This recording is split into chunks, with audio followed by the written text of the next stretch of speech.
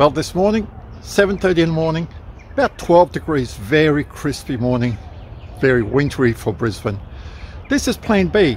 I'm at my Plan B location this morning, Black Duck Lagoon in Murrumba Downs.